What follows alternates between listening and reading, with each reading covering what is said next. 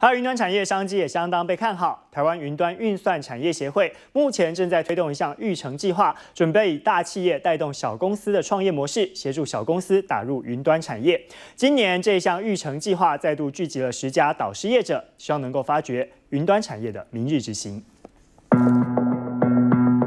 当全球都在封云端产业的时候，台湾身为科技产业的重镇，怎么能落于人后？为了发掘云端产业的明日之星，由台湾云端运算产业协会举办的台湾云谷云豹育成计划，十号宣布第二届的计划启动，汇集了包含中华电、台达电在内的十家重量级业者担任导师，要带领小公司创业。那我们在系统软体呢，以前的琢磨不多啊，所以我们借着呃经济部。提供的这个科专的计划呢，过去几年来，我们在努力的去培养一些云端系统软体的人才，这个包括在资策会、工研院都在做这样的事情啊，所以希望借着这样的机会，我们把这个人才的缺口能够补起来啊，